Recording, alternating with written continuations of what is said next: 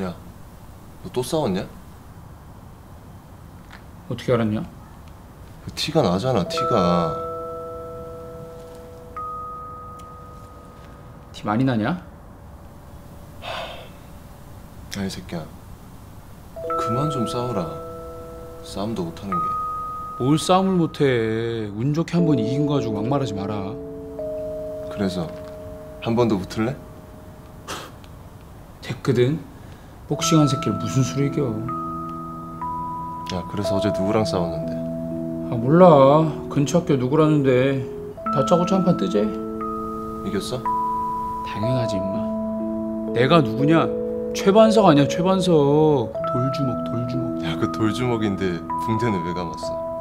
몰라 이씨.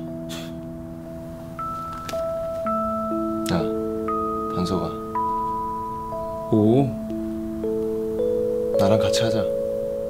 올같이 해 같이 하자, 복싱.